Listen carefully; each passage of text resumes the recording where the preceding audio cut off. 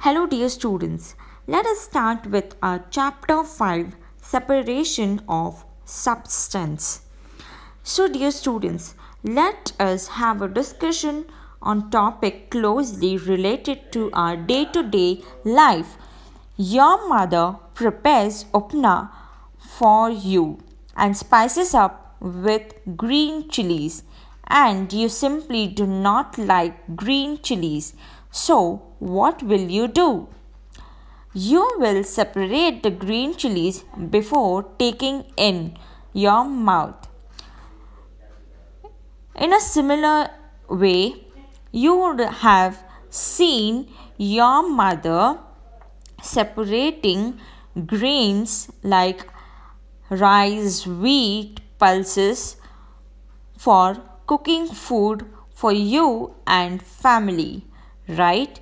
She separates stones and other unwanted like unwanted particles from rice, wheat and pulses. These are separating substance. Okay. Before we know what is separating, first let us learn what is mixture. A mixture is a material made up of two or more substance with are physically combined. So, a material which is two, which has two or more substance is known as mixture. Okay. If a material is made up of two or more substance and if we separate them is known as separation if it is combined together is known as mixture. For example, most of the thing that we use in our daily life in a form of mixture, not every component of mixture is useful as an example.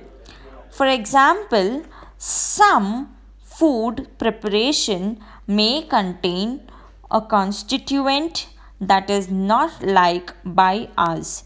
We remove it from the food item and suit it to our taste. So dear students, for making rice, we will first clean the rice. We will take out the unwanted particles and separate them rice and stones right? Yes, only then we will be able to eat rice or else it is harmful for our body. It is the first reason of separating the removal of harmful components. Okay, students? Yes. The second example is when we make a tea, we separate the tea leaves from the liquid with a strainer, right? Why is it so? Because we cannot eat the tea leaves.